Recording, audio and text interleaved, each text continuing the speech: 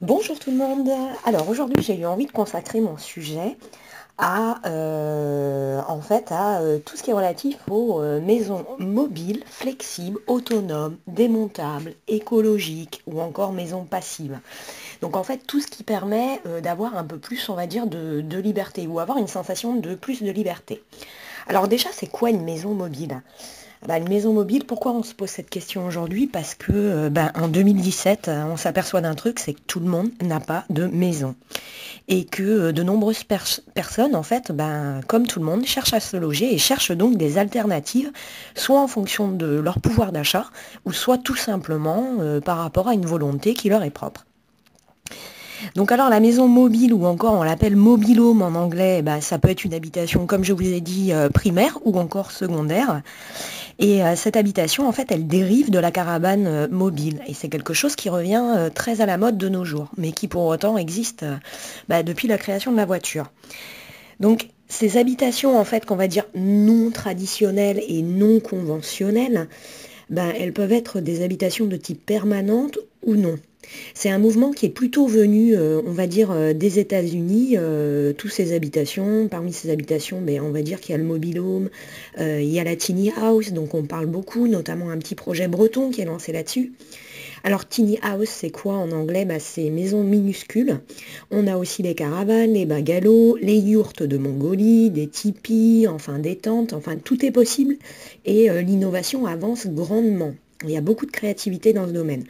Donc alors, toutes ces habitations, elles sont venues donc des États-Unis. Et euh, c'est arrivé euh, avec quel mouvement? Ben, les, difficultés euh, de se loger. Donc il y a eu par exemple la tempête Katrina en 2005, mais aussi et surtout, il y a eu la crise des subprimes en 2008, et notamment la crise immobilière et la crise systémique qui est arrivée après ça. Donc voilà, on a eu un effet domino et ben, on en a tous et on en pâtit tous. Donc voilà, alors si maintenant on s'intéresse à peu près euh, à la fourchette de prix euh, de ces différentes installations, en fonction de nos moyens, bah, tout est possible, ça va euh, vraiment de la base, on va dire moins de 5000 à plus de 100 000 en fait. Hein. Donc si vous regardez les yourtes, vous voulez une yourte de 15 mètres carrés, allez, ça va osciller entre 2000 et 5000 en fonction de, des matériaux, de la solidité. Après si vous regardez le, le mobilhome en occasion, vous allez pouvoir en trouver à tous les prix.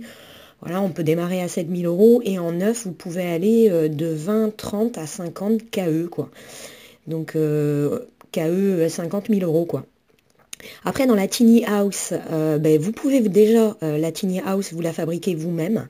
Il y a des sociétés qui commencent à le faire, et comme je vous ai dit, en Bretagne notamment, mais vous pouvez le faire vous-même. Alors la tiny house, en règle générale, elle va faire entre 12, 17 mètres carrés. Et ça, en fait, avec le prix des matériaux, vous pouvez la réaliser pour un coût, allez, oscillant, si vous êtes dégourdi ou pas dégourdi et, euh, et, bricoleur, entre 10, 15 et 20 KE, donc 20 000 euros. Si vous la prenez neuf en tout fait, bah là c'est variable aussi, c'est fonction des matériaux qu'ils vont utiliser, de la surface, euh, de l'importance de, la sécurité également, qui a été mise en place. Donc là ça va être entre 20, 30 et 40 KE. Je dirais qu'en moyenne, euh, une tiny house, vous pouvez l'obtenir pour 25 KE.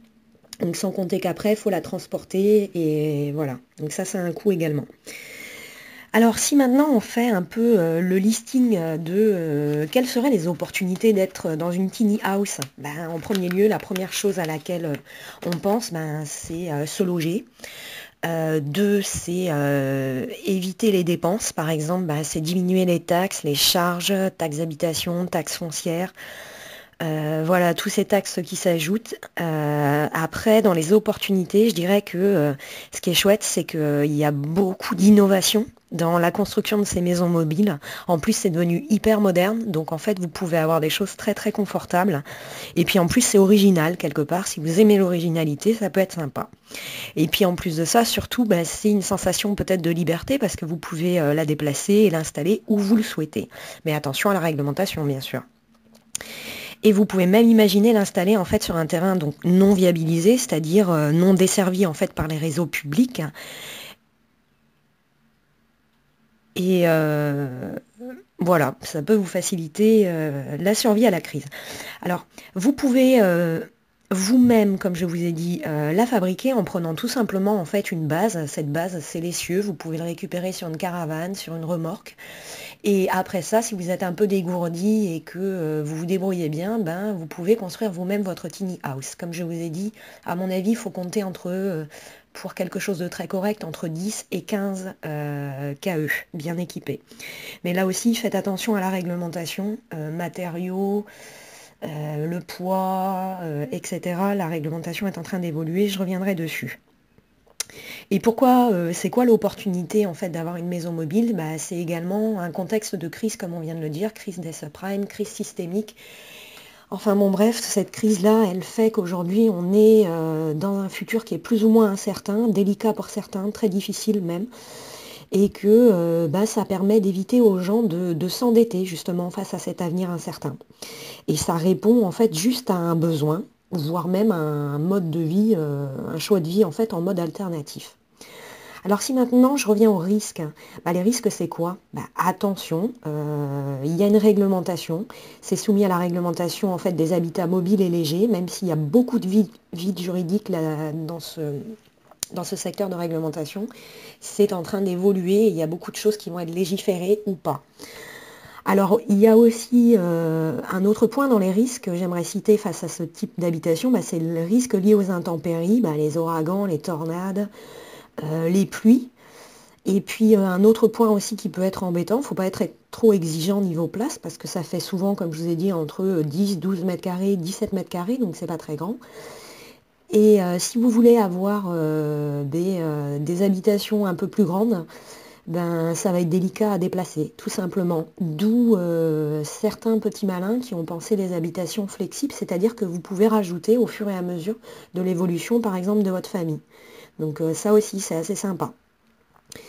Bon, il faut savoir que... ah oui, je dirais aussi que cette habitation, en fait, soit vous pouvez la mettre, comme je vous ai dit, en opportunité sur un terrain euh, non viabilisé, non raccordé au réseau.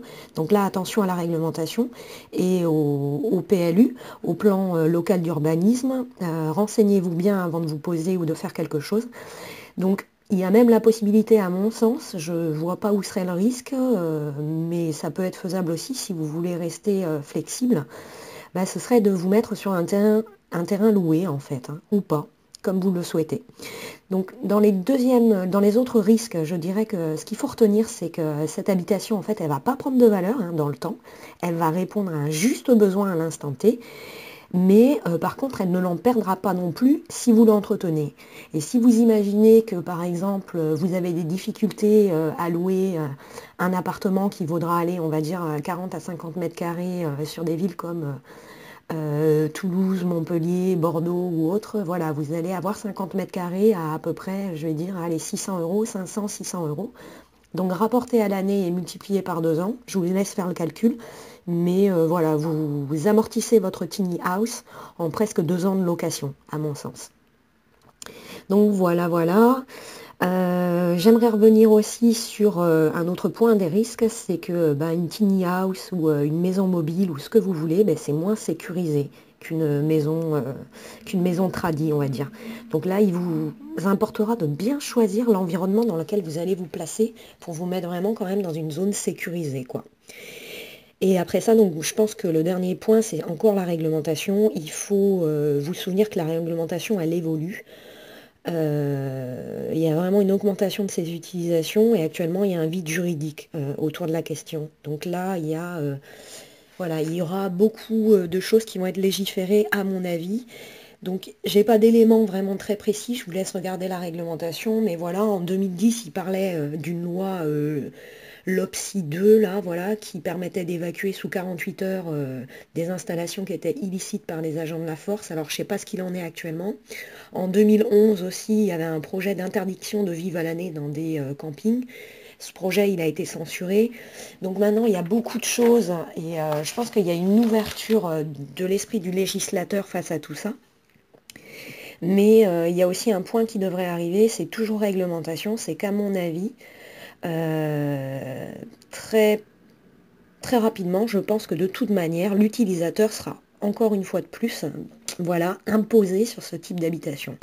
Et je pense qu'il euh, va y avoir une imposition euh, en fonction de certaines conditions. Alors là aussi, c'est un peu le vide, mais voilà, il y a la législation qui précise que le véhicule, en fait, il doit être euh, terrestre, habitable et conserver ses moyens de mobilité.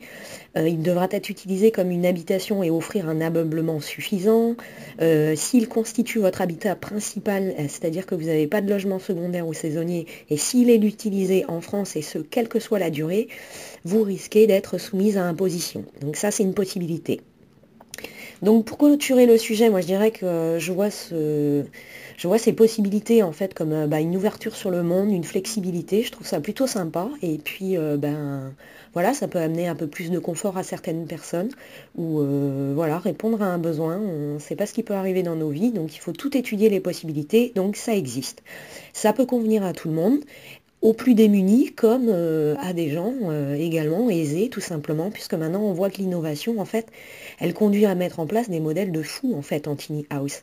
Ils sont designés par des architectes, c'est des super projets, ils, seront, ils sont même transportables en hélico, montés en une semaine, avec tout ça euh, pareil, ils sont flexibles, mobiles, démontables. Et ils peuvent être agrandis, voire même équipés en fait avec des équipements qui lui permettent d'être une maison euh, zéro consommation d'énergie, complètement autonome en fait.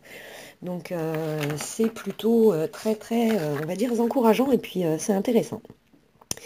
Donc comme je vous ai dit, maintenant on a des super maisons mobiles qui sont faites avec des styles, enfin style luxe en fait, hein, et réalisées par des architectes à 90% écolo, pour euh, des familles, une famille par exemple de, 4 personnes, avec une construction complètement passive, on arrive à peu près à 100 euh, KE, donc 100 000 euros.